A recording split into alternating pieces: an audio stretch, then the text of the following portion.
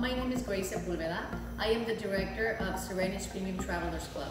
I am at the VIP Lounge and I have the pleasure to be here with Ms. Vanessa Costa, our Director of Operations for our newly renovated and rebranded Grand Sirenis Punta Cana Resort. Ms. Vanessa, thank you very much for accepting the interview. My pleasure, and thank you for the opportunity. I'm very happy to be here. Wonderful. Can you please tell us a little bit about your professional career with Sirenis Hotels and Resorts so that our members that don't have a chance to know you yet could get a little glimpse about your story? Gladly.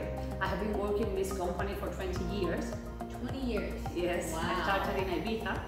I have been present through the openings and development of uh, both Sirenis Punta Cana in 2000 and Grand Sirenis Riviera Maya in 2006. Uh, now, I have the pleasure to be back in Punta Cana for the newly renovated Grand Sirenis. That's wonderful. What do you have planned for our third annual Members Appreciation Convention that will be held here at Gran Sirenis Punta Cana during October 1st to October 8th of this year? We have planned a week full of activities and surprises for whole family.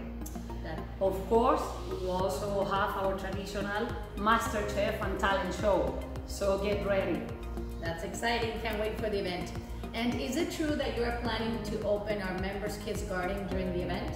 Yes, we create our very uh, own Taino village to honor to the Dominican Republic's ancestral culture. And as we did in Riviera Maya, we integrate our beloved kids garden. Wow, that's lovely. So that means that all our members that attend our convention are going to be the founders of the Kids Garden. That is correct. We have figured to have our members be part of this amazing project. That's nice. Is there any special message that you would like to share with our members? Uh, let us show you how much we appreciate you and don't miss out this amazing week. You will love it. That's wonderful. Well, Ms. Vanessa, thank you very much once again for accepting this interview and for sharing such important information with all of our members. And members, as you can see, Ms. Vanessa has been working with her whole team very hard to create this, as she says, amazing convention for you.